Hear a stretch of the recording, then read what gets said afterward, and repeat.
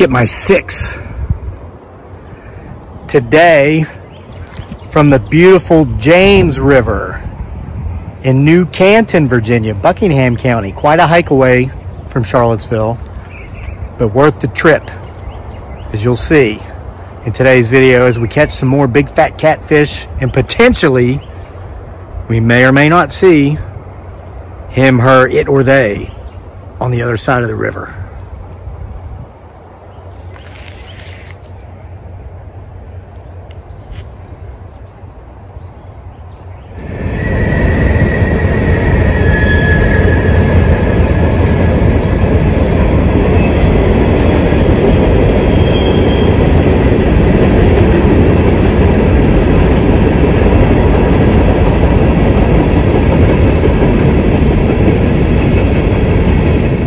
All right, so we're on the water. I don't know if the depth perception of the camera here does this river justice, but this river here on the James where I am, in between Charlottesville and Richmond, has got to be a quarter of a mile wide. I mean, this is a huge river. Its nickname is America's River.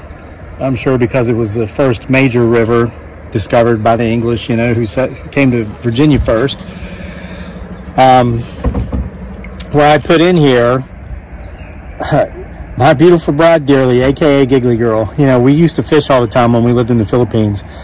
We used to catch a fish called hito, which is like uh, their version of catfish. Looks just like a catfish, but it doesn't have whiskers. It's really weird. And I would say, you wait till we get to the U.S. You wait till we get to Virginia. We're going to go catfishing. You're going to catch some catfish as big as you are. And you're going to love it. And she's like, yeah, yeah, yeah. So we got here five years ago and I said, let's go catfishing. I want you to experience this. She's like, yeah, okay. She was flattering me, you know, she was doing it because she knew I wanted to do it. And she, the first catfish she caught was probably two to two and a half feet long, probably weighed eight or 10 pounds. And she was hooked. And our entire first summer here, she uh, made me bring her catfishing somewhere every day and we came here a lot. This was our favorite spot for the longest time. And it was a 45 minute drive one way from where we were living then. It's well more than an hour now. So we don't make it down here as much as we used to. But uh, I'm here today and I'm going to stop yapping and I'm going to go to the other side of this river and downstream a little bit and set up and see if we can't catch a big fat catfish and potentially, potentially find us a him, her, it, or a they.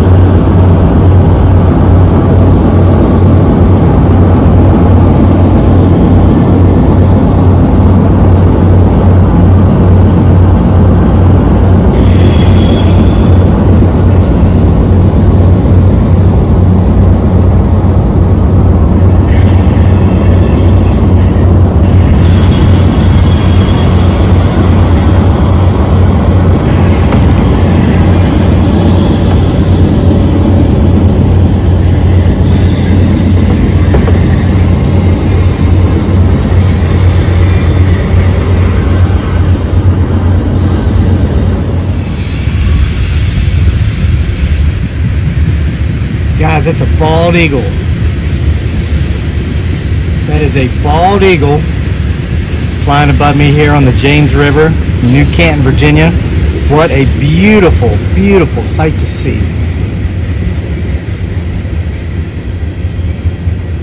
Look at that. An American bald eagle. Once not even located on the East Coast. Now, not an, an uncommon sight.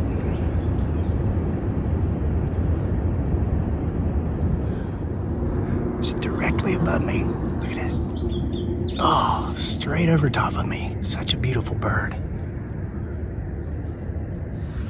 All right, but first I've got to show you this because you know, if you follow the channel, I am obsessed with trees, tree propagation. See all this green stuff looks like grass? It's baby maple trees. Check this out. You know how the seeds come down? They look like whirlybird helicopters come down everywhere. That's what's caused this. Look, here's one still attached. Here's the whirlybird seed. Sprout came out of there, starting the baby little maple tree. Now, these won't make it, of course. They're too dense. Uh, they're just in a wrong spot. And the first time we get a flood, a flood this spring, they'll probably get washed away. But if a person wanted to, if they had the time, wanted to come down here, you could just dig up all these. Look at that beautiful little baby maple trees all day long. Thousands of them. It's beautiful.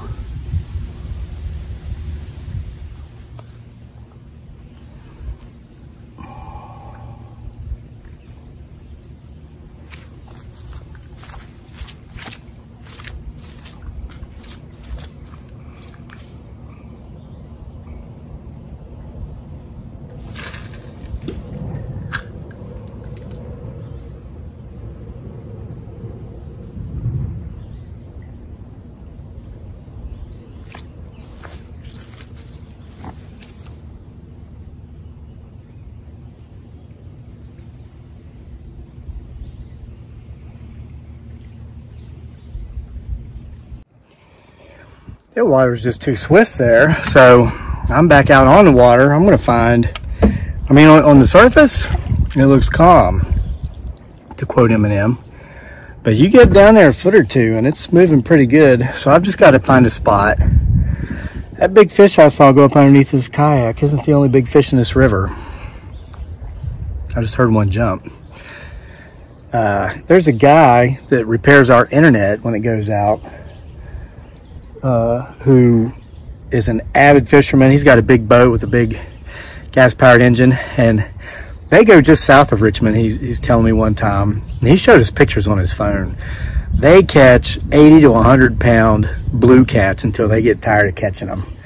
Now that's a considerable distance from where I am here, but if they're down there, they're up here too there's some kind of dam between here and there. So the ones that are on the other side of the dam can't get up here, but they're up here too. This is a big river. Man, it's a deep hole I'm floating over now. I'm telling you, with this weather, this sun, and the warmth, it's in the mid 80s today. I'm on the water. I'm starting to get the vibes of a beach trip. It's coming. I told Dearly, hey, enjoy the beaches while you're over there in the Philippines, but as soon as you guys get home, we're going to beaches over here. You can sleep off your jet lag. It takes about 10 days to readjust to the time because it's a 12 hour difference. It's an exact like right now, it's one o'clock in the afternoon uh, here in Virginia, which means it's 1 a.m. in the Philippines. So it's going to take some adjusting. Well, I can adjust in a room with the air conditioning on while I'm out on the beach. Wow.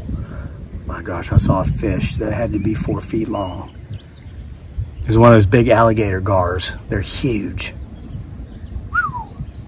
All right, let me find me a place where I can get out and catch one of these things. All right, we're gonna set up here, try from here. Found this beautiful little eddy here where a creek comes in from somewhere. So I put out right here, checking for potential Bigfoot Sasquatch tracks. See some deer, little deer. See what we got here. Big raccoon. Big raccoon, some kind of bird. Big bird. All right, I don't see any potential Bigfoot Sasquatch tracks. Doesn't mean him, her, it, or they may or may not be watching from up here.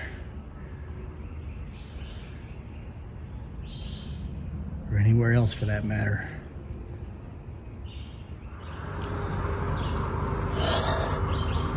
Okay, back where the kayak is when I was getting my gear off the back of the boat, I heard like a loud thunderous crash, like something jumped in from a treetop to a treetop, but I can't, can't see anything. So let's try from here.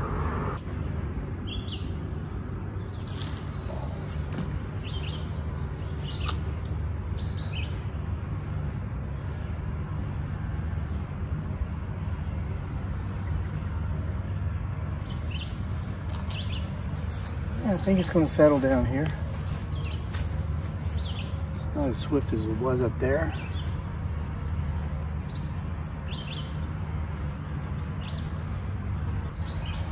We're out of the sun, so I think I'm gonna put my shirt back on because I've just been reacquainted with an old friend I haven't seen since last summer.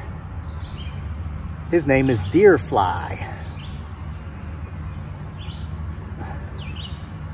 A little bit smaller than a horsefly, but the bite is no less painful. Just cover up as much skin as possible. Time to eat.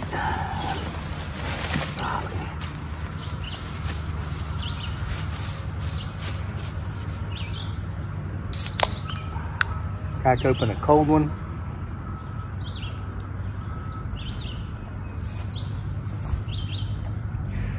Arizona green tea with ginger and honey. What do you think I meant, brah?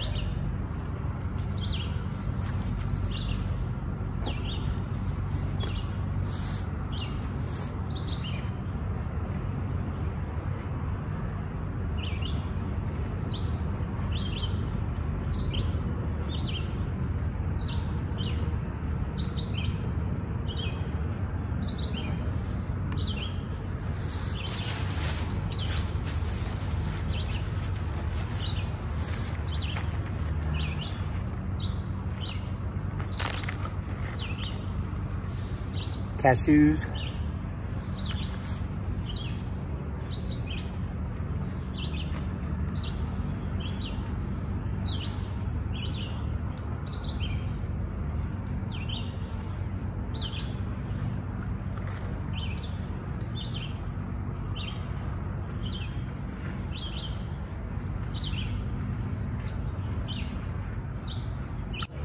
pastrami, cheddar, and mustard on wheat bread.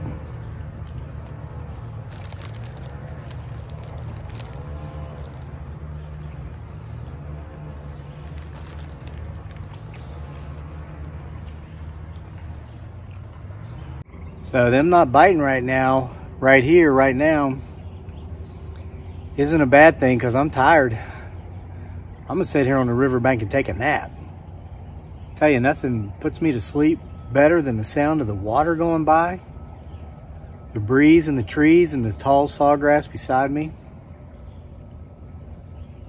I've got my chair sitting over top of my pole, so if I do get a hit while I'm asleep, can't take my pole in the water and it'll wake me up. True story, the first uh, catfishing pole we ever got for my wife dearly, she lost less than a month into it because we were in, fishing in the James, somewhere different, different location and uh, she would just go off and leave her pole and I would say, hon, you better stay kind of close to your pole in case you get a strike. And she, she didn't take it seriously and she was too far away and, and she got a hit. I saw the end of the pole go like that. And I said, honey, you're getting a bite. And she started running to her pole. And before she could get back to it, something just jerked that pole and it went shooting up over the bank and into the river like a rocket. And uh, we never saw that pole again. Maybe I'm holding my mouth the wrong way. Maybe that's why they're not biting. Let me try that. Hold it different.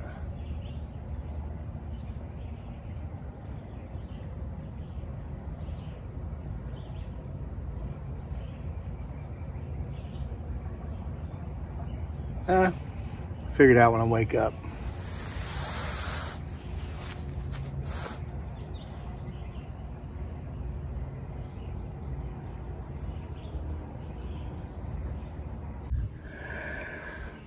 Still no fish, but I had a nice little nap. So I've got the rod back here now in the backpack. I usually have it right here. But I'm just gonna go upstream. I'm gonna go up to where I put in, so I need to be able to row very efficiently and proficiently. So I've got the pole back here. You know, they say if it isn't broken, don't break it. Well, I haven't broken anything, but I've always caught fish up that way. So I'm just gonna go up there. I'm gonna paddle around on this beautiful river for a while, taking the scenery, leaving this kind of somewhat creepy little place here. Beautiful. Eerie feeling here. I want to see if we can uh, catch fish up there we always have in the past. I've paddled all the way up to the bridge on top and the train trestle below it. My goodness, this is so beautiful. Look at those rapids. It doesn't matter that I've not caught any fish today. It's just worth coming out and being out here.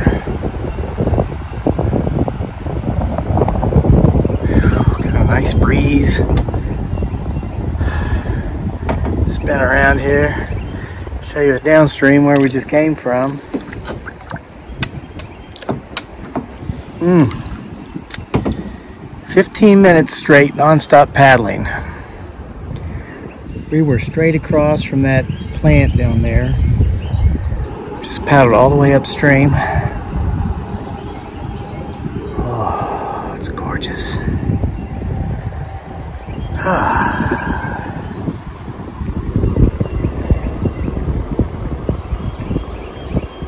okay, so this is where me and my beautiful bride Dearly, aka Giggly Girl, and our son Daniel have always caught fish here in the past. I'm baiting up my hook here. I'm trying to get the camera angle's kind of low, but I'm trying to make it feel like you're here fishing with me. I do have a really neat fishing story about here. We were here, me and Dearly and Daniel one time, and there were some other people sitting here fishing. And this is back before we had smartphones. But those people had smartphones, and they got an alert that there was a flash flood coming down here. and uh, if you see anybody, tell them to get off the river. So this was about an hour before dark. About 10 minutes later, we saw some canoers coming down. It was a guy and two women. They were probably all in their 30s, mid 30s. And we said, how far are you guys going? They said, oh, another hour or so, blah, blah, blah. We told them about the warning we just heard. Said, you guys might want to get out of the river. And they were like, really? Because they hadn't heard. Here we go. Let's cast.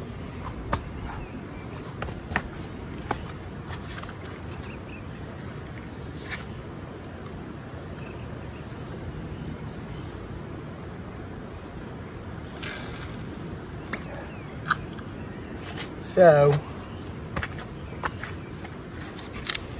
we told them, and uh, they they took us seriously. And they got out of the water, and no sooner than they got their canoes out and pulled up the ramp, which is upstream a little ways here. You're not allowed to fish on the actual ramps, so we're down below the ramp here. Um, that way you don't hinder boats coming in out of the water. Uh, as soon as they got those canoes out, got their stuff out, dragged up the ramp, it was almost like this wave of water just came down the river.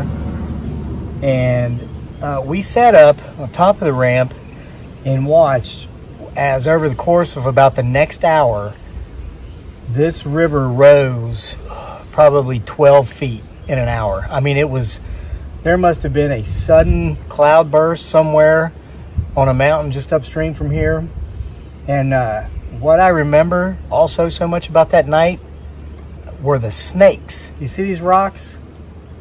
Uh, this might be kind of creepy to know, but there are so many water snakes laying down here underneath these rocks right now. And as the water rose that night, we had spotlights. We were just watching as there were just dozens and dozens of snakes coming up from out from underneath the rocks. But if we hadn't been here, this is the last public fishing area, uh, or, you know, easy, easy public access place until you get about another hour downstream to where those folks who were canoeing were going. If we hadn't been here to tell them what was going to happen, I don't think they would have made it. Uh, I think there were people that did die in that flash flood. That would have been 2016 for those of you who like to fact check everything, Google that. James River Flash Flood, Virginia 2016. Uh, unfortunately, there are several people that perish in this river, I think about every year. It's a big river, river goes a long way. Uh, if you're going to be out doing that kind of stuff, hey, I checked the weather before I came today. Trust me. You've always got to know what the weather's going to be doing if you're going to be out on, on water, especially big water.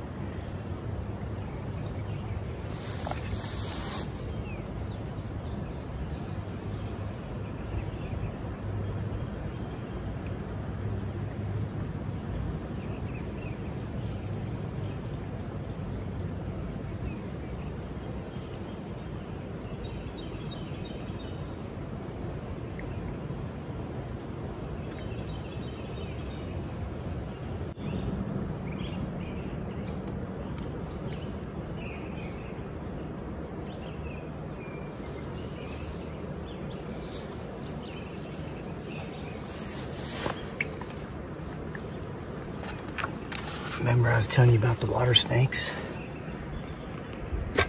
Let me flip the phone. I'm gonna show you one right here about five feet in front of me. Fishing pole, right?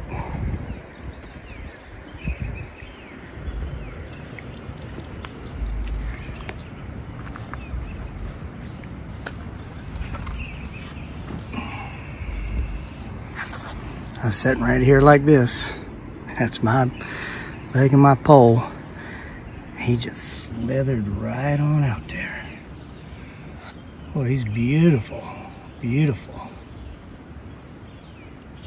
Tell me more about how I make these stories up, brah.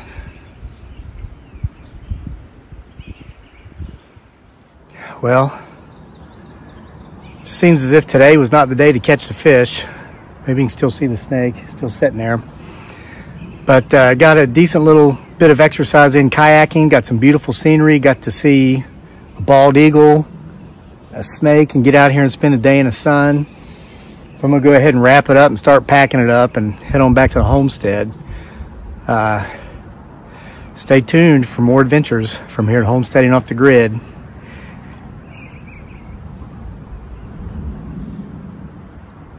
And whatever the hell this channel's about.